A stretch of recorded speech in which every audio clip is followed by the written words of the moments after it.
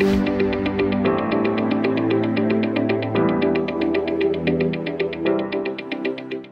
Friends आज हम एक और नए विषय पर बात करेंगे, वो है टोसिस या ड्रोपिंग ऑफ़ लेड या आँख की पलक नीचे गिरे होना।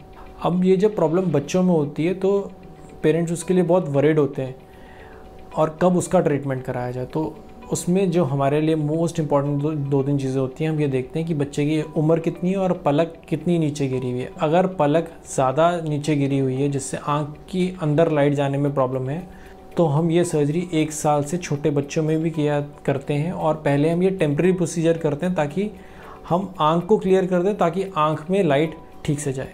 अगर आँख में लाइट ठीक से जा रही हो और उस उस तरह की कोई दिक्कत ना मतलब स्वीएटोसिस ना हो तो हम उन केसेस में सर्जरी के लिए चार साल की उम्र के बाद ही करते हैं, ताकि हम लिड को अच्छे से डेवलप होने देते हैं, उसके बाद ही सर्जरी करते हैं। फिर लोगों का क्वेश्चन होता है कि हम किस तरह की सर्जरी करें तो इसमें दो तीन तरह की सर्जरी होती हैं, चाहे वो स्लिंग सर्जरी हो या एल पी रिसेक्शन हो, वो डिपेंड करता है कि डॉक्टर के एग्जामिनेशन पे कि किस तरह की सर्जरी पेशेंट के लिए करी जानी चाहिए और सेफ़ भी है और किस तरीके से करनी है। टोसिस वाले केसेस में एक और बहुत इंपॉर्टेंट चीज़ है, हमें ये देखने की ज़रूरत है, किसी एक आँख की विजन कम तो नहीं है, चाहे वो चश्मे का नंबर है तो चश्मे का नंबर देना बहुत ज़रूरी है, वो चेक होना चाहिए।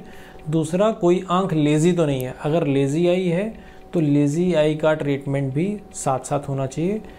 अगर आँख की पलक इतनी ऊपर उठी है कि उससे नज़र में फ़र्क नहीं पड़ रहा है तो हम फोर इयर्स की एज के बाद आराम से सर्जरी कर सकते हैं, किस, कोई जल्दबाजी करने की ज़रूरत नहीं है।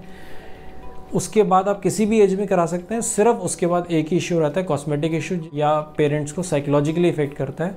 और कोई मेडिकल इंडिकेशन नहीं है कि हम उसको चार साल पे ही करना है, हम उसको दस साल की एज भी कर सकते हैं। वो entirely it is a discussion between the doctor and the patient और अच्छे से हम अगर एक्सप्लेन करें तो कर सकते हैं। होपफुली आप इन्फॉर्मेशन आपके लिए यूज़फुल रहेगी। Thank you